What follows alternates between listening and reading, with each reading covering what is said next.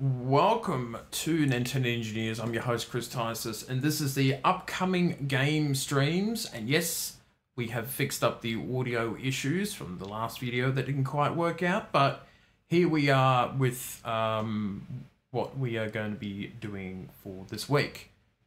And for what is it, middle of May already, we're already into. But the games are Thursday night Rocket League, Friday Fortnite. Again, we're up to past level 160.